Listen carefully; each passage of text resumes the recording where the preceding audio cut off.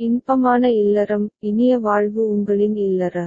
வாழ்வு மேலும் இனிமையாக கீழே சொல்லிய வழிமுறைகளை. சரியாக பாலோ பண்ணீங்கனா ரொம்ப நல்ல இருக்கும். உணவு தாம்பத்தியத்தின் உச்சத்தை எட்ட கணவன். மனைவி இருவரின் உடல்நலமும் மனநலமும் முக்கியம். அன்றாட உணவில் ஊட்டச்சத்துக்கள் நிறைந்த புரதம்.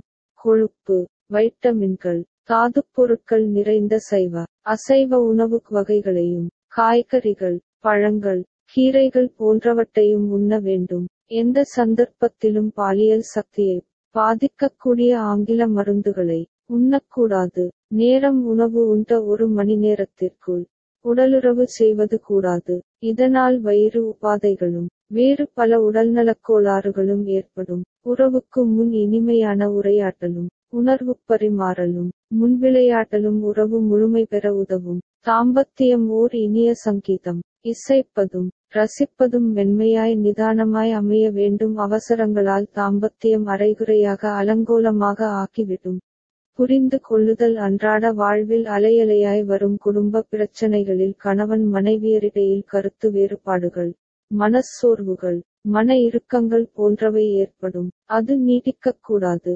பரஸ்பரம் புரிதலோடு பேசித் தீர்க்க வேண்டும்.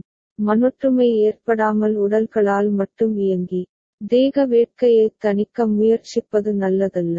மேலும் ஆழ்ந்த மனப்பாதிப்புகள் தாம்பத்திய உறவுக்கு பெரும் எதிரி. தாம்பத்தியத்தில் எந்திரத்தனங்களும் எல்லை மீறல்களும் இனிமை தராது. காலம் அடிக்கடி வரைமுறையின்றி உறவு கொள்ள விரும்புவது ஆரோக்கியத்தைச் சீர்குலைக்கும். தாம்பத்திய உறவில் ஏதாவது ஒரு வரையறையை காலப்போக்கில் தம்பதியர்கள் தாங்களாகவே நிர்ணயம் செய்து கொள்வது முக்கியம். வயது அதிகமாகும் போது தாம்பத்திய உறவு இயலாமல் போய்விடுமோ என்ற அச்சம் தேவையற்றது. உடலுறவுக்கு வயது ஒரு தடை அல்ல. எண்ணங்கள் கணவன் மனைவியின் அந்தரங்கமான இல்லற வாழ்வில் ஒருவர் விருப்பத்தை மற்றொருவர் புரிந்து கொள்ள வேண்டும். இப்படி பேசினால் அநாகரீகம் அப்படிச் செய்தால் அநாகரீகம் என்று எண்ணத் தேவையில்லை. இருவரது விருப்பங்களில் ஆரோக்கியமான அனைத்துமே சுகமான அனைத்துமே பாலியல் வாழ்க்கை நெறிப்படி சரியானதுதான். விருப்பு வெறுப்பு கணவனுக்கும் மனைவிக்கும். தாம்பத்திய தாகம் ஒரே அலைவரிசையில் இருப்பதில்லை. ஆணுக்கு ஆவல் அடிக்கடி ஏற்படும். பெண்ணுக்கு விருப்பமில்லாத போது தொல்லை தரக்கூடாது என்றெண்ணி அடக்கிக் கொள்கிறான். இது தொடர்கதையானால் மனைவி மீது ஒருவித வெறுப்பு. ஏற்படுவது தவிர்க்க முடியாது.